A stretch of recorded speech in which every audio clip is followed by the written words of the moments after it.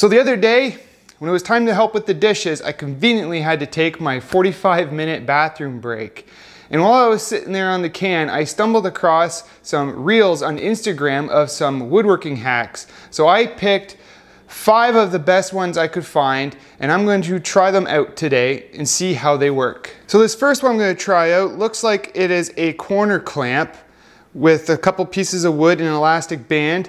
Now in this video, it shows this guy clumsily, clumsily, I don't know if that's a word. Okay, it looks like he's being a clown and trying to get these two boards together and um, obviously he doesn't have the skills, so he made a clamp. So let's try and make this and see how it works. In that video, it looked like he was using particle board. I'm not gonna use that. I'm gonna use some half inch plywood. Three quarter inch plywood would probably be better, I imagine. Just gives a little bit more surface area up against your material. But this is what I got, this is what I'm gonna use. So I'm going to cut this into an L shape and I'm gonna do that on the table saw.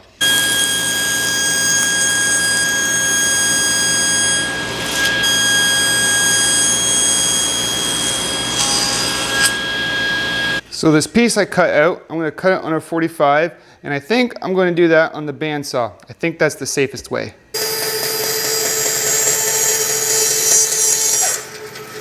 So next we need to attach this piece of wood right there. We gotta leave that proud so we can wrap the elastics around it. I'm just gonna use a couple three quarter inch screws.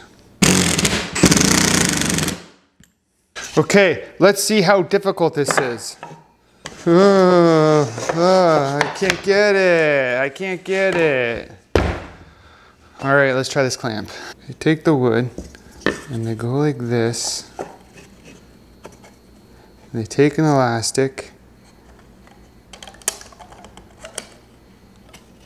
Would you look at that? Ah! You know what? I'm gonna do two elastics. Let's get this in there like that. Get an elastic over that. Okay. Let's do let's do a bunch. I don't have a big elastic like they used in the video. But I figured if we just triple up a bunch.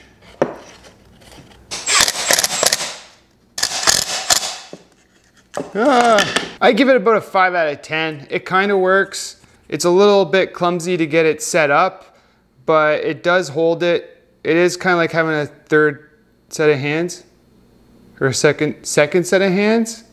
It, but I have two hands. Would be a third? No, be a second. Yeah, a second set of hands. I honestly, I prefer using one of these clamps. You can get them on Amazon pretty cheap. I think that's where I got this one from. And um, yeah, it just works so much better. So the next one is this guy who is turning down the end of a dowel on his bandsaw.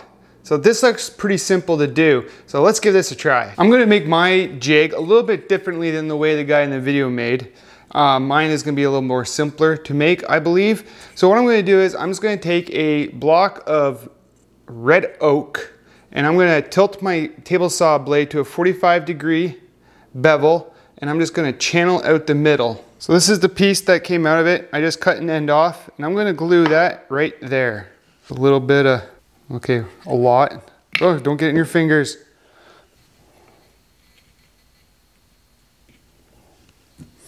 Just gonna hold that for a few seconds.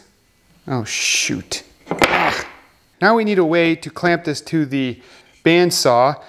And I got this scrap piece of plywood, it'll be just fine. And I'm just going to super glue it to that and not glue my fingers to it this time. Awesome. All right, now it looks like from the video that we have to run our blade into this till we're sticking out.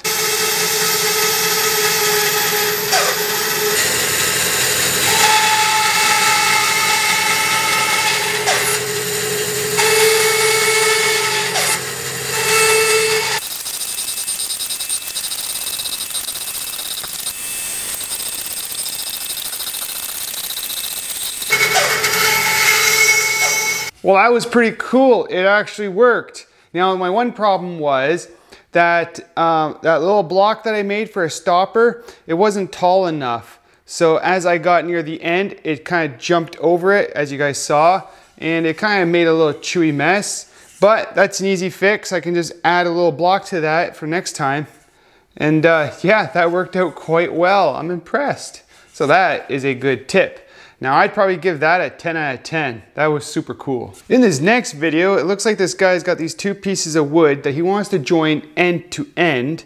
And he does this cool little trick where he nibbles away little fingers in it. And he does it on the table saw. I have a jig like that. Yeah, I can do that. And um, yeah, he nibbles off the ends. Oh, this looks super easy to do. Uh, I might do it a little bit differently than he does it. I think I got a way to speed this method up. And then, yeah, then it looks like he uses a dowel to pin it to hold it together. It doesn't look like he uses any wood glue though. That's weird. I'd probably use some wood glue just to make sure that stays together, but his looks a little gappy. Is gappy a word? Man, I gotta really improve on my vocabulary. So my wood's two inches wide, so I think they're gonna be half inch wide fingers. An inch and a half.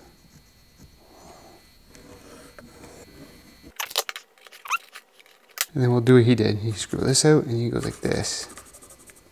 Now, how I'm going to do this differently is I'm going to two-face tape these together and cut them at the same time.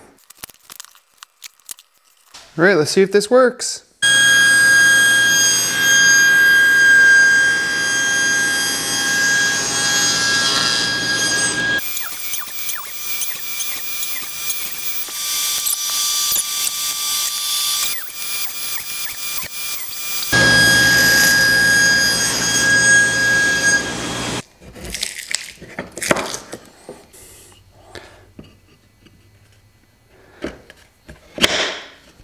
Oh, wow. Okay. It's a little bit gapped there. So I gotta trim these ends off. I'm gonna do that on the miter saw, I think. I'll be right back. Nibbled a little bit off. Let's see. Oh yeah, that is super cool. Now we gotta find a dowel to put in the middle there. I forgot to hit record, so here's the reenactment. So in that video, they didn't glue this at all, but I'm going to piece it back together. Man, that is a beautiful joint. A little bit of glue on the dowel.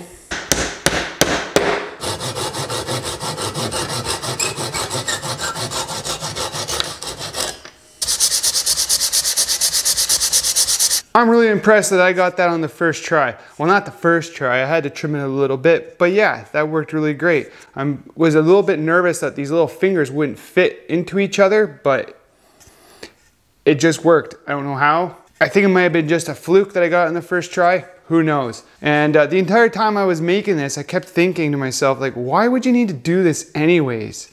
Like, why couldn't you just go get a piece of wood that is long enough for what you need? But I mean, if you're in a pinch and you didn't have enough wood, and you just had a bunch of scraps, I mean, you could do this.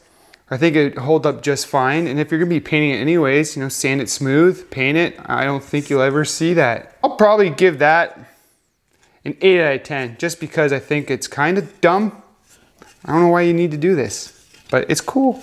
So the next one I have here is this guy that's trying to create like an X pattern or join four boards into each other. And where they intersect, he kind of notches them out and he pounds a dowel in. And it looks like they don't use any glue on this.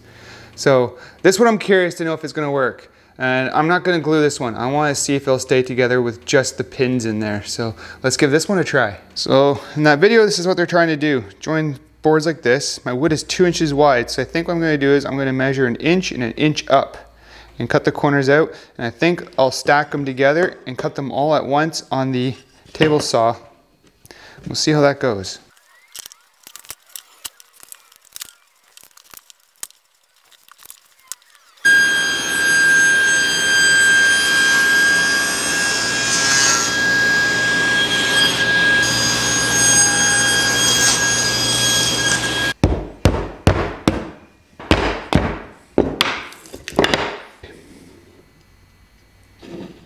It kind of worked.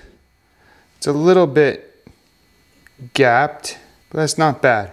Okay, I'm gonna put some clamps on that to hold together. And I'm gonna drill holes for all these pins. So in that video, it looks like they drilled a hole here, here, here, and here.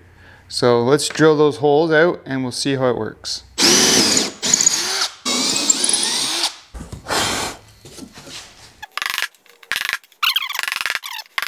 Ha! Okay, so I double checked and I got the holes drilled and the dowels in the exact spot they're supposed to be. According to that video, it just falls apart. Two thumbs down, does not work.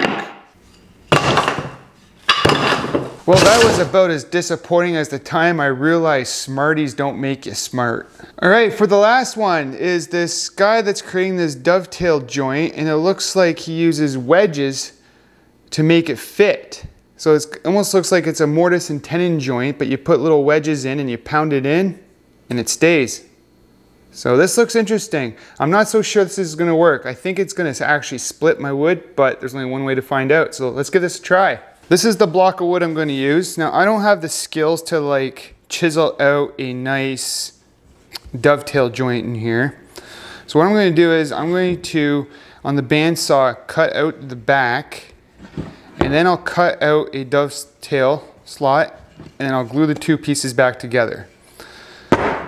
So now we just got to mark out something that's to work.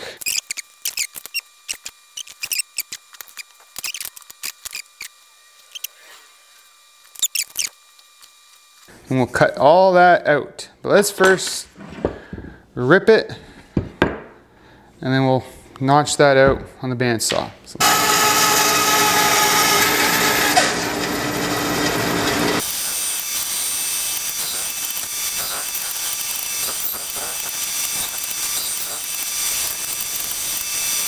All right, we'll glue this back together. My tips are all clogged now. So I just have to pour it out. And we'll glue that back together as best as we can. Pressure on it. All right, now we gotta cut a piece of wood for here.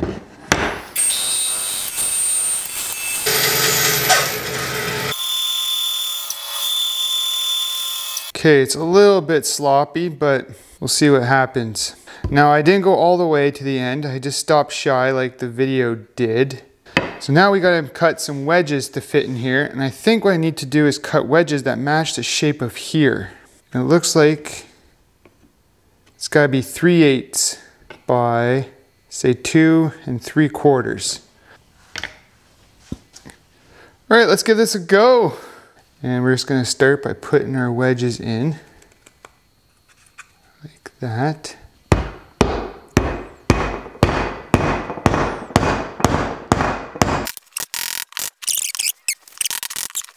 Okay.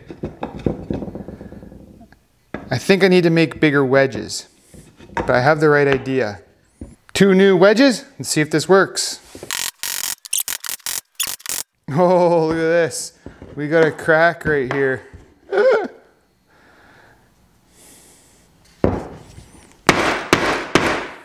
Well, it kind of turned out the way I was expecting it to. I mean, maybe with the right skill, it probably would have worked out just fine. But, oh, I just noticed I glued this together wrong. Well, I'm pretty sure that had nothing to do with it. Maybe if I had glued this completely solid and clamped it and let it dry for the allowed time, it probably would have held up fine. Um, there is cracks going up in here, which I was kind of expecting. Yeah, it's plausible. It could work. But yeah, like I said, with the right skill set that I don't really have, it would be just fine. Like if this was inside a pocket where you couldn't see the gaps and stuff that are in here, like that is, that is sturdy. Like I can't pull that out and it's not rocking at all. Yeah, five out of 10, I guess. So overall, four out of 10 worked. I'm pretty happy with that. Um, the one that failed, I kind of was expecting it to fail. I didn't really have high hopes for that one, just because when I saw the video, I was like, that looks like it would still fall apart, which it did. But anyways, yeah, this video was a lot of fun to make. I hope you guys enjoyed it and found it entertaining. And um, yeah, like always, we'll see you guys in the next one.